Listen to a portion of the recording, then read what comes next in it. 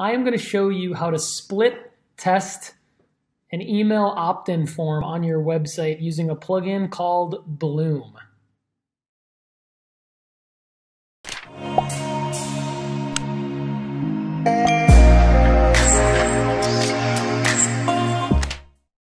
What's up everybody, Paul Hickey here with Data Driven Design. Welcome to the WordPress show.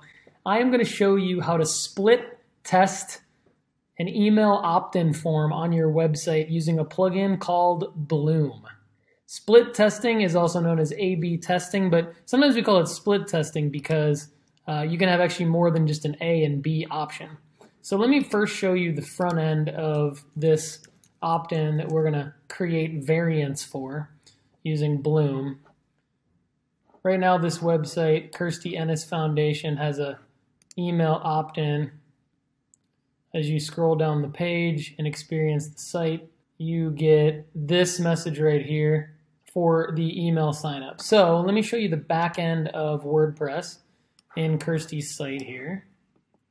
And we have a plugin installed called Bloom by Elegant Themes. Very nice plugin.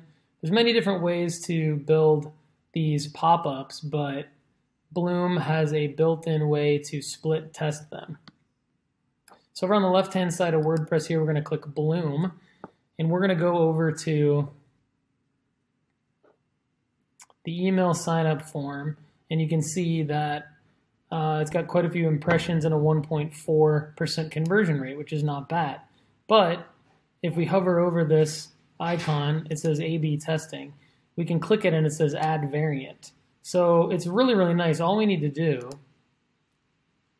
is make any slight change that we want to A-B test. So again, over here, you saw that we had, we have just the logo, first name, last name, email, and we've got the button color from the theme.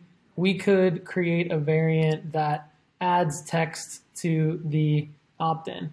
So, um, for example, um, get updates straight to your inbox, join our mailing list to receive the latest news and updates from our team with the image settings. We could have a variant um, that has no image.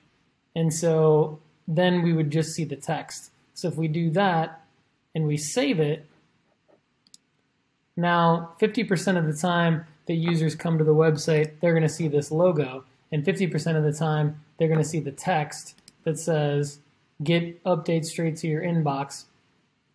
And then we're going to have the data right here around conversions and conversion rate. And over time, they should have the same impressions.